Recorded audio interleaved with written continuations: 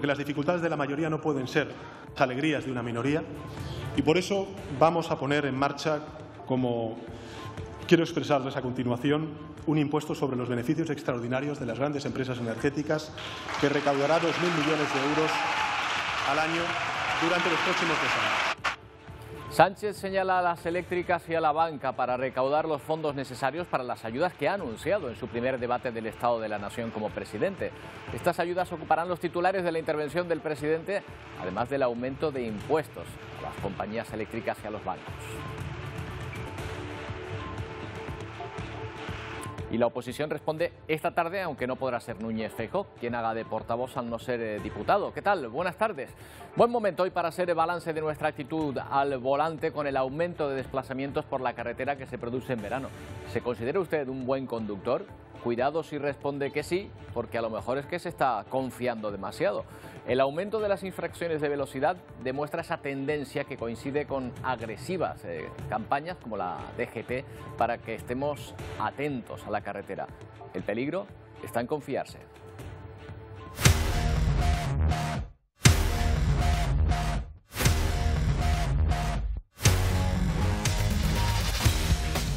Lo confirma un estudio de la Fundación Línea Directa que relaciona los accidentes de tráfico con el exceso de velocidad. Se estima que el 30% de los conductores canarios superamos habitualmente los límites marcados. Es uno de los peligros de las operaciones salidas de este verano, con muchos más desplazamientos que años anteriores, un parque móvil envejecido y carreteras saturadas. Prevenir para evitar accidentes y de paso librarnos de las multas, que bastante estamos pagando ya además.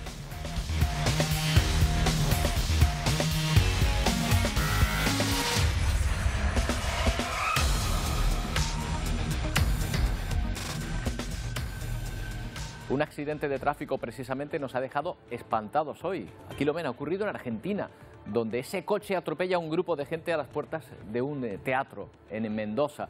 Justo a la salida del teatro, ese vehículo da marcha atrás, se lanza sobre la gente hiriendo a 23 personas, tres de ellas de gravedad. La desgracia pudo ser mayor porque a punto estuvieron de lichar al conductor un hombre de 62 años que aseguró que perdió el control del eh, vehículo. Y además de estar eh, atentos, estaremos atentos a las imágenes del espacio que se van a hacer públicas eh, del telescopio espacial James Webb y veremos cómo a veces tenemos trozos de ese espacio tan lejano muy cerca de nosotros, como los meteoritos, estos por ejemplo, que llegan a nuestra superficie. Hay una persona que se ha especificado, se ha especializado, perdón, en encontrarlos. Empezó siendo una afición, pero vamos a ver que también puede ser un buen negocio. Hoy hablaremos con un rastreador de meteoritos. Pero aquí, en la Tierra, más concretamente en nuestro país, hoy se habla del debate del Estado de la Nación, que el presidente Pedro Sánchez ha aprovechado para intentar recuperar la iniciativa política con el anuncio de una importante batería de medidas. Al margen de esas promesas que veremos enseguida, nos preguntamos en primer lugar por qué es tan importante este debate Isiar Pérez, ¿qué tal? Ayúdanos a hacernos un poco una idea. Para empezar, ¿cuántos años lleva sin celebrarse? Pues Roberto, desde 2015, si empezamos a contar con los dedos, son siete años que lleva este debate del Estado de la Nación sin celebrarse. En su momento teníamos como presidente a Mariano, a Mariano Rajoy y en la oposición a Pedro Sánchez. Ya no está Mariano Rajoy, sí que está Pedro Sánchez como presidente del gobierno y entre las novedades que nos encontramos, por ejemplo, fíjate, porque solo tres diputados eh, repiten debate del Estado de la Nación, Ana Orama, Joan Maldoví y también Aitor Esteban, por cierto, que Ana es la persona, es la diputada más veterana porque hasta en siete debates del Estado de la Nación ha estado y el resto de diputados son todos nuevos. También no solo nuevos diputados, sino también nuevos partidos políticos porque cuando estaba Rajoy no tuvo que enfrentarse ni a Unidas Podemos, ni a Vox, ni tampoco a Ciudadanos, Roberto. Claro, son siete años los que han pasado. Eh, de lo cual deducimos que este debate no tiene que hacerse de forma obligatoria, entonces, Isiar. No, porque eh, esencialmente es el presidente del gobierno quien decide cuándo y si debe hacerse o no. En este caso, Pedro Sánchez ha decidido hacerlo en julio, mientras que, por ejemplo, en su momento Mariano Rajoy decidió hacerlo en febrero, Roberto. Bueno, hay una imagen también que nos llama la atención en este día. Podemos ver el presidente Pedro Sánchez en la tribuna y allí justo al lado tuyo está Núñez Feijóo asistiendo a este debate del Estado de, la Nación, pero sin que pueda intervenir. Sin que pueda intervenir y como oyente, porque recordamos, Núñez Feijó sí que es el líder de los populares, pero todavía no es diputado, es senador, por lo que no podrá participar. Si quiere responderle algo a Sánchez, lo tendrá que hacer fuera de este debate. Sí que será la portavoz de los populares, Cuca Gamarra, que enseguida lo veremos en pantalla, será la portavoz, será también la primera persona que responda a Sánchez después del discurso que ya ha dado en esta primera sesión, ya que los partidos van respondiendo de mayor a menor representación, pues el Partido Popular es el primer partido en hacerlo. ¿Qué nos depara las siguientes jornadas, la segunda y la tercera jornada? Que los grupos parlamentarios pues vayan proponiendo, haciendo sus propuestas, también enmiendas, pues todos los grupos parlamentarios, Coalición Canaria, Esquerra Republicana, harán sus propuestas, eh, también presentarán enmiendas a las propuestas que haya dado Sánchez, propuestas que serán votadas en la tercera sesión el jueves. Muy bien, pues eh, veremos cómo discurre. Por lo pronto, vamos a ver qué es lo que ha dicho hoy, porque más que defender su gestión en estos años, el presidente ha aprovechado la tribuna para hacer varios anuncios importantes. El primero es que sube los impuestos a las eléctricas y a los bancos. Silvia Mascareño, también medidas específicas para Canarias, ¿verdad? Sí, el presidente ya había adelantado que hoy haría grandes anuncios y así ha sido, lo que supone todo un giro a la izquierda con esos nuevos impuestos, no solamente a las grandes eléctricas, también a la banca. Con estos nuevos impuestos el gobierno pretende recaudar 3.500 millones de euros al año, pero como decías también guiño a Canarias, que será uno de los primeros territorios con energía 100% renovable. Un impuesto excepcional a las grandes empresas energéticas que estará en vigor en el año 2023 y el año 2024, que afectará a los beneficios extraordinarios obtenidos en el año 2022 y el año 2023 por los grupos dominantes en el sector eléctrico, gasista y petrolero. El Gobierno aprobará un impuesto excepcional y temporal a las grandes entidades financieras que ya se están empezando a beneficiar de las subidas de tipos de interés. Estamos realizando una inversión sin precedentes para garantizar que Canarias, que Baleares, sean territorios plenamente descarbonizados. Lo cierto es que la batería de ayudas, becas y subvenciones a cargo del erario público es larguísima, Silvia, desde transporte gratuito en tren a una paga extra de 100 euros para los estudiantes. Sí, porque según el presidente del gobierno, el Ejecutivo va por todas para defender a las clases medias y trabajadoras, así que hoy solamente, hoy no solamente ha habido un anuncio de impuestos, también de otras ayudas, de otras medidas, entre otras esa que comentabas, trenes de cercanía y media distancia gratis, al menos de septiembre a diciembre y también en medio de la polémica por las becas de la Comunidad de Madrid, Sánchez anuncia un suplemento de 100 euros para los alumnos ya becados de más de 16 años. Un impuesto excepcional a las grandes empresas energéticas que estará en vigor en el año 2023 y el año 2024, que afectará a los beneficios extraordinarios obtenidos en el año 2022 y el año 2023 por los grupos dominantes en el sector eléctrico, gasista y petrolero. El Gobierno aprobará un impuesto excepcional y temporal a las grandes entidades financieras que ya se están empezando a beneficiar de las subidas de tipos de interés. Estamos realizando una inversión sin precedentes para garantizar que Canarias, que Baleares, sean territorios plenamente descarbonizados. Mientras Sánchez promete más ayudas, ayer la reunión de los ministros de Economía y Finanzas de la zona euro decidió poner fin a las ayudas fiscales que se activaron con la pandemia para apoyar a familias y empresas. Focus of fiscal policy in 2023 reflects the economic outlook and the nature of our Nuestro foco está en proteger a los más vulnerables y mantener la sostenibilidad de la deuda centrándonos en el crecimiento económico. Son las palabras del presidente del Eurogrupo. Por su parte, el comisario de Economía ha animado a los países a adoptar medidas prudentes para garantizar la estabilidad.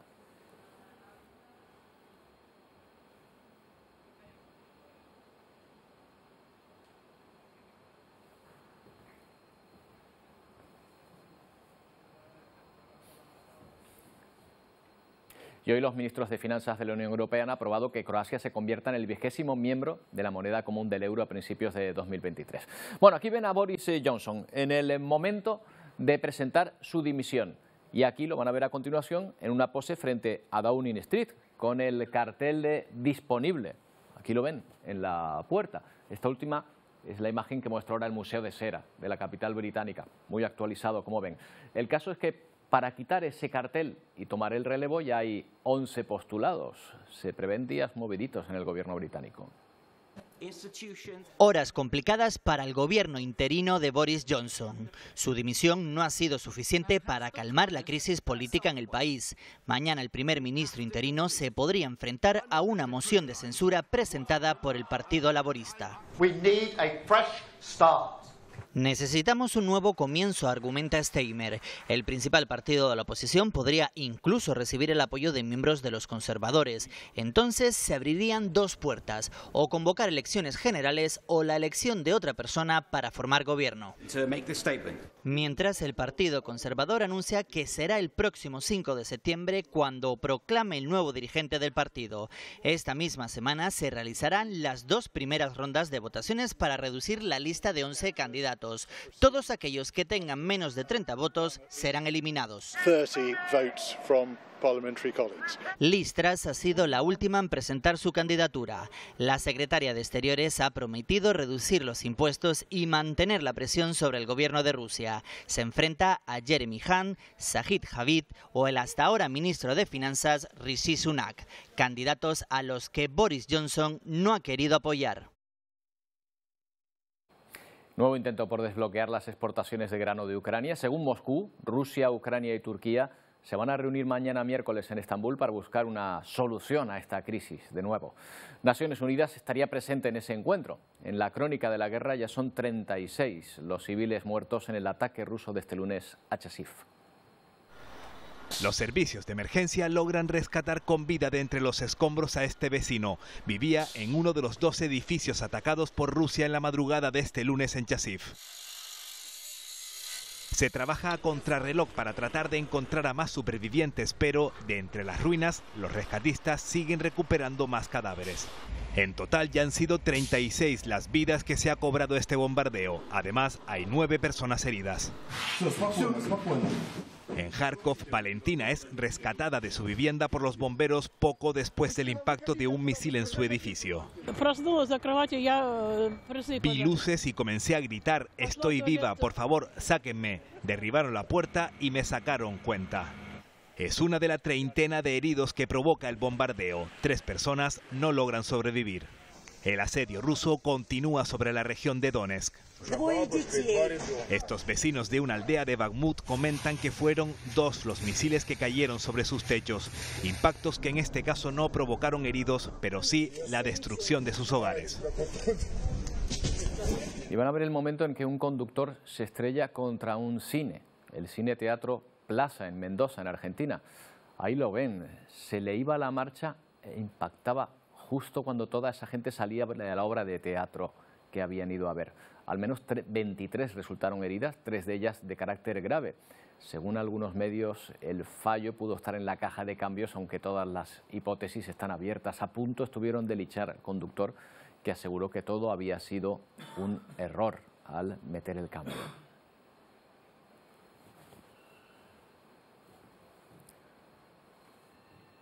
Bueno, de tráfico precisamente nos vamos a ocupar. A mayor velocidad, pues más peligro corremos, eso ya lo sabemos, pero ojo, porque según un estudio de la Fundación Línea Directa que relaciona los accidentes de tráfico con el exceso de velocidad, el 30% de los canarios superamos los límites marcados y no de forma puntual, lo hacemos casi a diario, algo que, recordemos, pone en riesgo nuestra vida y la de los demás.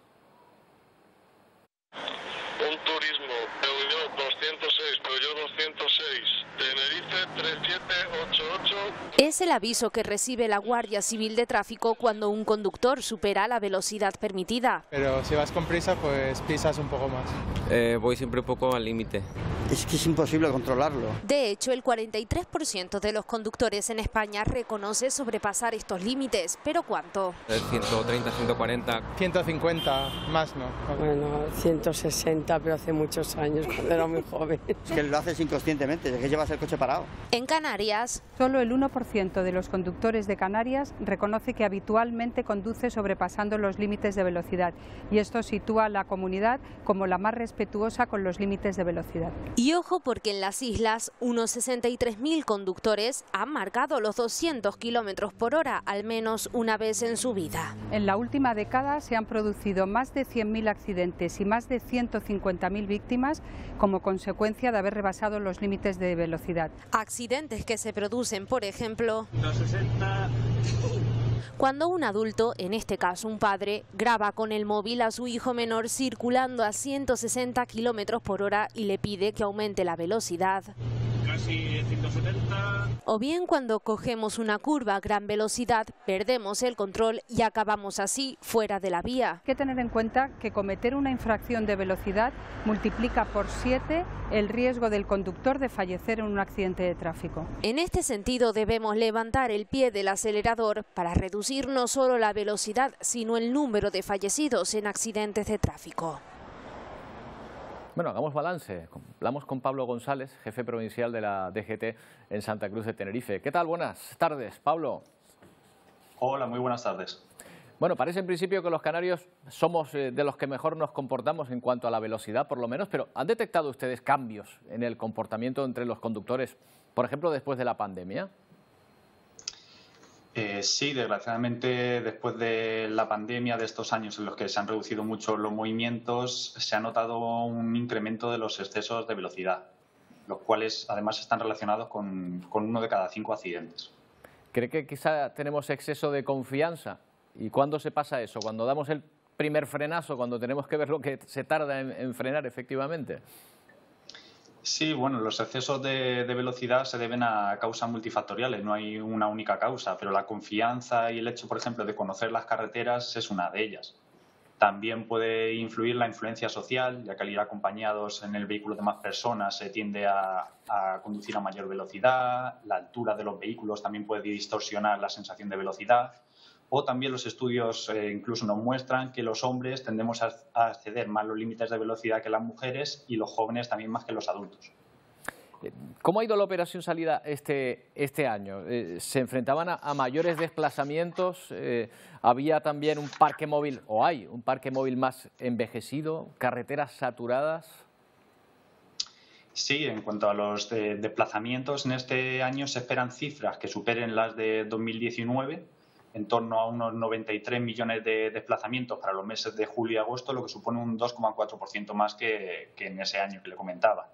Y solamente en el mes de julio se esperan un, total de 44 millones de desplazamientos. Y en cuanto a lo, que, a lo que hace referencia del parque de vehículos, sí se está constatando un envejecimiento progresivo de, de este parque móvil, lo cual también puede no ayudar a evitar estos accidentes, ya que los nuevos vehículos van incorporados con nuevas tecnologías que facilitan la labor del conductor. ¿Tienen ya datos de accidentes en carretera en esta, en esta campaña, que se pueda comparar con campañas anteriores? De momento, los, como ha empezado hace muy poquito la campaña de verano, los, los datos todavía no están ah, disponibles. Los darán más, eh, más adelante cuando finalice, sí. me imagino. Eh, este año la campaña de la DGT, que siempre llama la atención, se ha centrado en los atropellos. ¿Por qué eh, en este aspecto concreto? Sí, la campaña que ha lanzado la Dirección General de Tráfico este año, Saberlo, es empezar a evitarlo. Eh, se ha centrado principalmente en los atropellos, ya que cada año fallecen más de 100 personas atropelladas y quizás es un hecho desconocido por la mayor parte de, de la población, ya que entre otras cosas no suele tener mucha, mucha repercusión más allá del ámbito familiar o personal. Bueno, pues ahí está esa campaña para tenerla en cuenta. Y esta operación eh, salida, nosotros decimos operación salida, yo creo que ya todo el verano, ¿verdad? Hasta que, hasta que termina, porque los desplazamientos son constantes durante todas las vacaciones. Pablo. Sí, además en el, en el ámbito de la peculiaridad de las Islas Canarias, en este caso la, también la provincia de Tenerife, eh, es una operación salida con particularidades que se, quizás se amplía un poco más por el, el buen tiempo que, que, acompaña en las islas y eh, además también por la, la, afluencia de una gran cantidad de turistas, no solo nacional, sino también extranjero. Bueno, pues Pablo González, muchas gracias por habernos atendido. Buenas tardes. Muchas gracias a vosotros. Buenas tardes. Bueno, continuamos eh, en Heathrow, en el aeropuerto británico, donde ayer se tuvieron que cancelar 61 vuelos, nada menos. El aeródromo pidió a las aerolíneas que suspendieran estos vuelos porque era imposible para el aeropuerto gestionar el alto número de pasajeros en sus instalaciones. Por eso durante la jornada se volvieron a ver importantes colas en los accesos al control de seguridad. Muchos turistas tuvieron que esperar durante horas por sus maletas. Ha habido un vuelo británico que ha perdido literalmente todas sus maletas. La gestión de las terminales ha anunciado que trabaja para aumentar el personal, pero por el momento ha limitado a 100.000 los pasajeros al día. No solo en el Reino Unido, Alemania, Francia o Países Bajos han tenido que, también que enfrentarse a problemas logísticos por falta de previsión. Los principales aeropuertos de toda Europa continuarán registrando esta semana retrasos y cancelaciones por la escasez de personal y las huelgas de EasyJet y Ryanair, una situación que se ha visto agravada por el incremento de la demanda registrado con motivo de las vacaciones de verano. En España, pese a que de momento los efectos no están siendo tan importantes como en otros aeropuertos europeos, durante las últimas semanas se han producido problemas en los controles de seguridad y pérdida de maletas. En el Reino Unido, donde el sector aéreo atraviesa una crisis debido a la falta de personal de cabina, de gestión de equipaje, de seguridad aeroportuaria y controladores aéreos, los aeropuertos están viendo obligados a cancelar vuelos por la falta de capacidad de sus instalaciones. En Francia, después de que quedara desactivada el pasado fin de semana la huelga del personal en aeropuertos de París, el principal punto conflictivo fue el aeropuerto de Burdeos, con un paro desde el viernes al lunes que el primer día condujo a la cancelación de un 40% de los vuelos. Y en el aeropuerto de Schiphol de Ámsterdam, uno de los que registra mayor tránsito de viajeros internacionales, han vuelto a verse colas de hasta dos horas para acceder al aeródromo, a pesar de que las aerolíneas han estado cancelando vuelos para reducir la presión sobre el aeropuerto. Bueno, y miramos ahora al espacio. Bueno, a los trozos del espacio que nos encontramos aquí en Canarias, permítanme, en Canarias, en, todo el planeta, permítanme la expresión. Son eh, los meteoritos que tienen eh, mucho valor. De hecho, hay personas que se esfuerzan en encontrarlas. Esas eh, que ven, por ejemplo, a priori no se diferencian de cualquier otra, pero su principal característica es esa, que vienen del espacio. Eso que vemos, por ejemplo, esos restos de meteoritos proceden, pues ahí los vemos cayendo sobre, sobre la Tierra y encontrarlos para muchas personas no es solo una afición, sino que puede llegar a ser un negocio. Un negocio al que se dedica Miguel Ángel Contreras, que es eh, director de meteolovers.com y que lleva ya unos años recorriendo el mundo en busca de estos eh, restos. ¿Qué tal, Miguel Ángel? Buenas tardes. Hola, buenas tardes. Eh, tengo curiosidad porque la verdad es que su, su afición, su trabajo llama, llama la atención. ¿Usted cuando le preguntan a qué se dedica dice que se dedica a buscar meteoritos? Muchas veces intento evitar el tema porque de cierta manera Bueno, pero para iniciar una conversación en un sitio eso viene magnífico, ¿eh? Sí, no, viene magníficamente. Cuando quiero tener temas de conversación digo a lo que me dedico y si la persona no me conoce ya podemos estar un buen rato hablando de temas. Eh, ¿Es eh, relativamente fácil encontrar meteoritos en la, en la Tierra, restos de meteoritos? Realmente no, es muy difícil. Y hay gente que lo intenta durante mucho tiempo, incluso toda su vida, y no puede encontrar ninguno.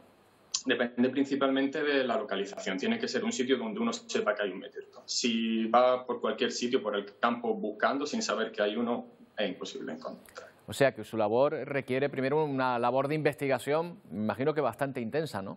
¿Cómo lo hace? Exactamente, exactamente. Tenemos que investigar en qué zonas están los meteoritos, ver los vídeos eh, de los meteoritos cuando caen en la Tierra, analizar las trayectorias y entonces podemos ir a buscarlos.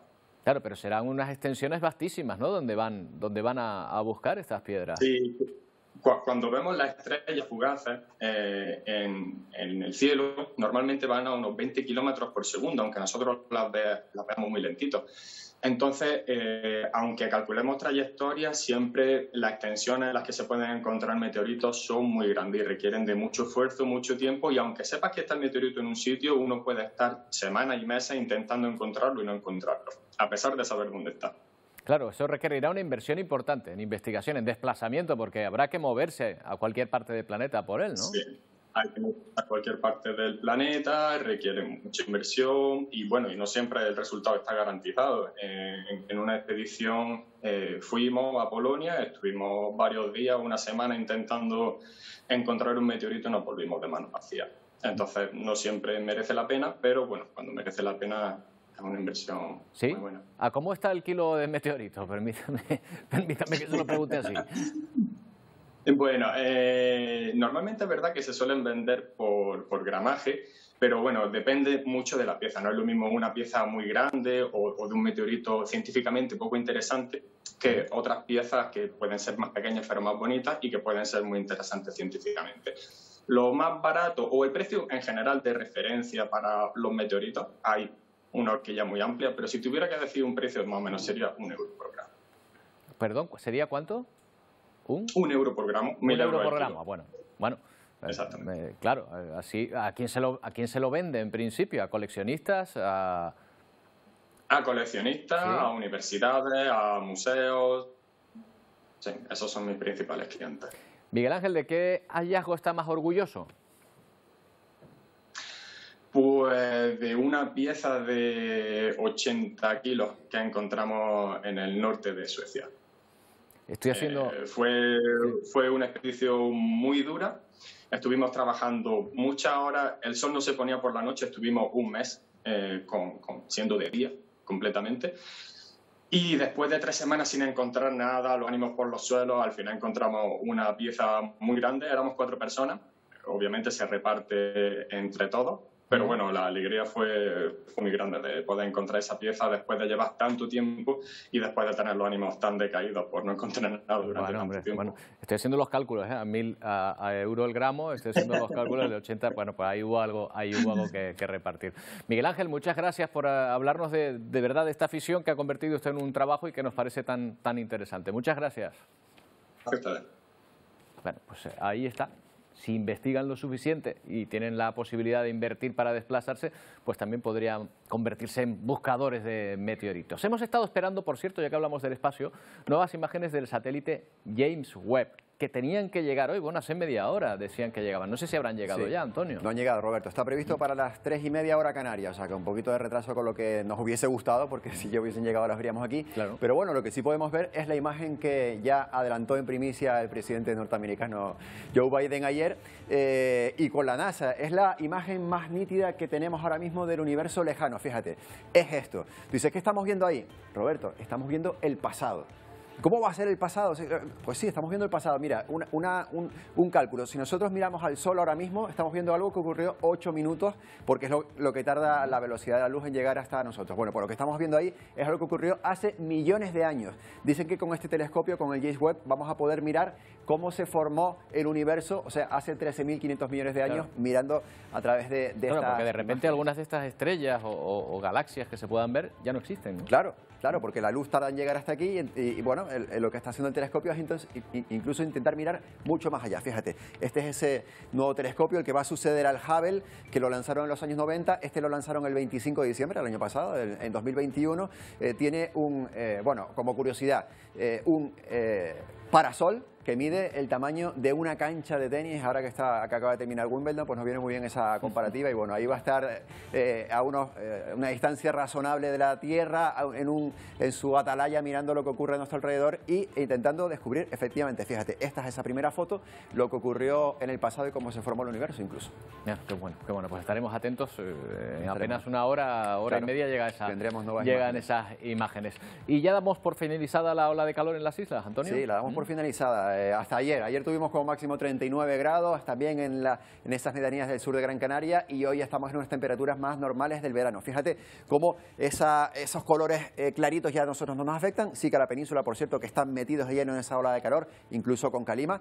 Este, este fin de semana va a volver a ser calor en las islas, no tanto como el fin de semana pasado, pero va a ser más calor que ahora. Ahora estamos en esas temperaturas más estables. Hoy habrá máximas de 30 a 32 grados, igual que mañana. Vamos a ver precisamente la previsión para mañana, Roberto, porque tenemos viento del norte, no será completamente alisio, bueno, viento del norte, componente norte soplando, y con esas nubes sí que tendremos esas nubes situadas ya a unos 800 metros, 1000 metros en el norte de la isla de Gran Canaria, panza de burro también en el norte de Tenerife y en el norte y nordeste de La Palma. También podemos ver mañana nubes en el oeste de La Palma y en el oeste de Tenerife. De resto, por encima de esos 1000 metros de altitud y en la cara sur, suroeste y sureste de todas las islas, vamos a tener mucho más sol que nubes también mañana. La semana pasada vimos desprendimientos eh, de, de un glaciar. Hoy estamos viendo, aparte de un desprendimiento importantísimo también, arder una secuoya. Bueno, vamos a hacer un repaso por lo que está ocurriendo Sí. ahora mismo en, en otros lugares. ¿Con qué empezamos? Sí, vamos a empezar por California. Yo creo que tiene- también tienen ola de calor, fíjate, y ese incendio que, como hemos hablado otras veces, los incendios generan sus propias condiciones atmosféricas. Este es ese timelapse del incendio, esas llamas saliendo. Y como tú decías, están afectando en el parque de Yosemite a eh, secuoyas. De momento no las están afectando por suerte, pero fíjate, estos árboles que están considerados los más altos eh, del mundo, cómo están intentando hacer como una especie de cordón a su alrededor, eh, enfriando la zona y también, bueno, pues Fíjate, y también eh, quitando esa, esa posible combustión, esa posible eh, eh, posibilidad de que, de claro. pudiese eh, pues llegar el, el fuego hasta ellos, Roberto. Y sí, como tú decías, nos vamos a ir de aquí a esa avalancha, otro Oye, glaciar. qué sangre fría el que está grabando esto, Claro, Antonio, esto es una para ver cómo le llega la avalancha y no retirarse Es de una ahí. excursión de unas 10 personas. Esta persona dice, voy a ir hasta aquí a ver lo que ocurre. Se ve venir la avalancha y lejos de esconderse, sigue grabando hasta el último momento. Aquí vamos a ver cómo esa avalancha de nieve, de hielo, eh, de ese glaciar, esto es en Kirguistán, que se ha desprendido, cómo llega hasta la posición donde está esta persona que está grabando con total sangre fría, sigue con el móvil encendido en todo momento, fíjate cómo se va acercando esa avalancha y en el último momento dice, bueno, me voy a esconder aquí, fíjate, y lo vamos a escuchar incluso.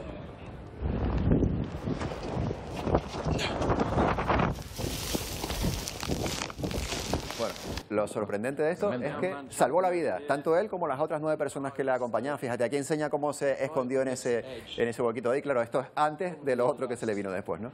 Bueno, esto por, lo menos tenía, ocurre. por lo menos tenía claro dónde ponerse, ¿no? Al menos sí, tenía un refugio pensado. Será hasta mañana, Antonio. Hasta luego. Bueno, y la semana pasada vimos, eh, decíamos, ese desprendimiento, pero hoy vamos a terminar con una imagen de unas cuevas en China. Ahí las tienen, unas eh, cuevas eh, que han sido visitadas por un grupo espeleológico de científicos chinos y franceses. Han descubierto nuevas grutas de ese espectacular interior y una nueva formación rocosa.